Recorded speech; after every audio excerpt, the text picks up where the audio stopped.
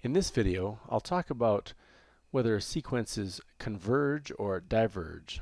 And first of all, let's explain what a sequence is. A sequence is a list of numbers. They're not being added.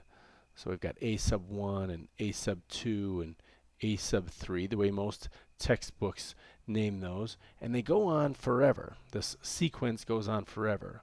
And then the a sub n, the any nth term, would be uh, given by some formula. So we're going to find the formula here. The formula for the nth term, and again, that's not the last term, that's just any for any n, like you would plug in uh, n equals 1 in this first term, and then n equals 2, so you'd plug that into the formula. So let's see here a sub n, uh, we see something happening with the denominators. And if the first term is a sub 1 and then a sub 2 and then a sub 3, that goes here, then we see something happening. This 2, this 2 matches this 2. We don't see a 3 here, but let's keep going and see a sub 4 that goes with this term, 4, and then a sub 5, the fifth term. So it looks like, it looks like perhaps the denominators are growing along with n. So I'm going to put n right in the denominator. So whatever n is, whatever the nth term is, that's going to be our denominator. And let me further rewrite this too. So I've got 0, 3 halves. If I want to make that denominator 3, I'll have to make this 6 over 3, and then 9 over 4, and then 12 over 5, and so on. Now, what, what's happening up in the numerator?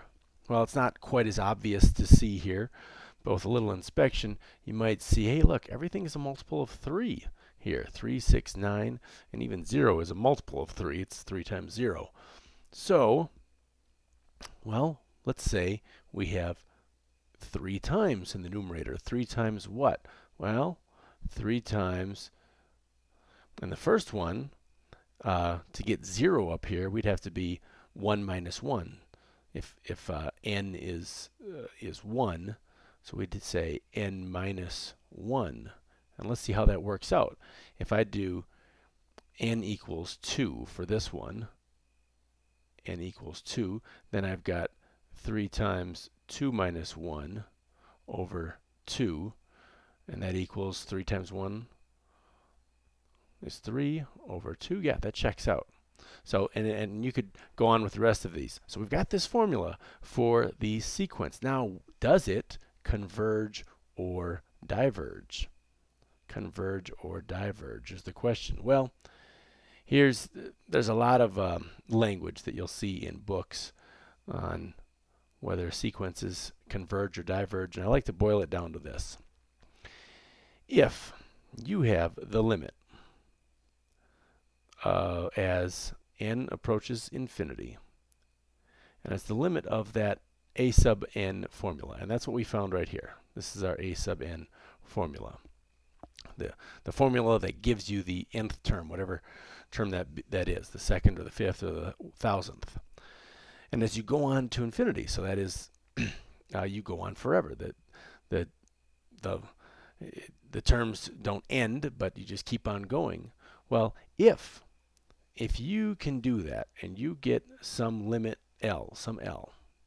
Now, if, if L is a number, let's just say that. That's, that's really what this boils down to. There's a lot of uh, nice, elegant math ways to say this. But I'm just going to boil it down to say if L is a number that is not infinity, because infinity is not a number, it's a concept, then we can say uh, this converges. Then the sequence converges.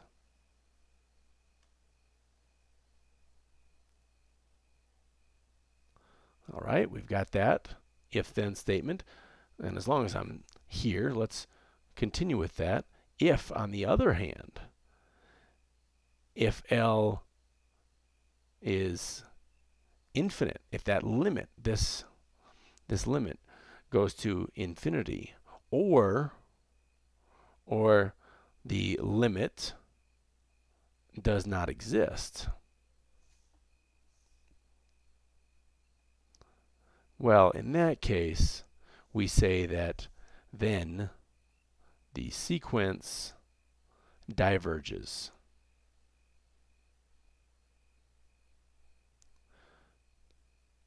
Not sequence is, just the sequence diverges. And I took the path less traveled by, and that has made all the difference. But in math, but in math, we don't want it to di diverge. So, uh, so that this is what happens if, if you don't get something palatable, the limit does not exist or infinite. We say the sequence diverges. Okay, so that's our that's our quest here is what if we take the limit, the limit as n goes to infinity of 3 times n minus 1 over n. What does that limit equal? Well, it turns out that that limit equals, look at this, we've got infinity over infinity, so those just kind of cancel each other out. Infinity minus 1 is, is nothing. Uh, that minus 1 doesn't mean anything.